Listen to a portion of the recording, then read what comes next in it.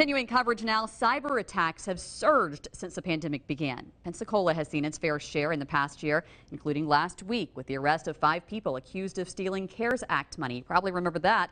And last year, when the city was asked to pay a ransom when someone stole information from more than 1,700 documents about budgets and timesheets. Aaron Fields is talking with a local organization launching a campaign to bring more cybersecurity professionals to this area.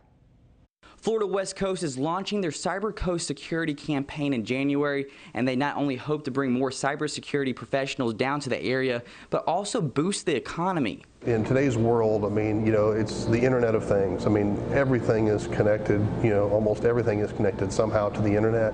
And when you're connected to the Internet, then you have your cyber, you have your cyber vulnerabilities. Luth says there's a demand for people in the industry, especially here in Pensacola.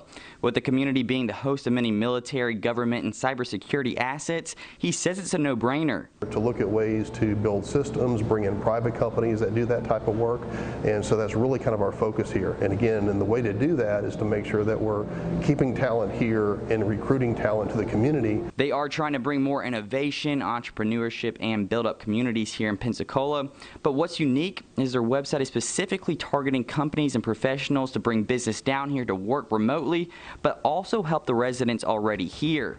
First and foremost, we want to make sure that our that our local residents and the folks coming out of school um, have great job opportunities. Our area being the highest, one of the highest concentration of retired military anywhere in the United States.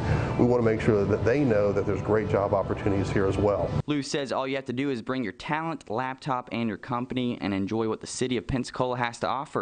Having a focus on that and then sort of building a cluster here on how to protect that, we think is going to be extremely important. The University of West Florida, Pensacola State College, and Pensacola Christian College all have great cybersecurity programs as well, which they hope to spotlight and get more people in the industry. Reporting in Pensacola, I'm Aaron Fields, WKRG News 5. Congress is making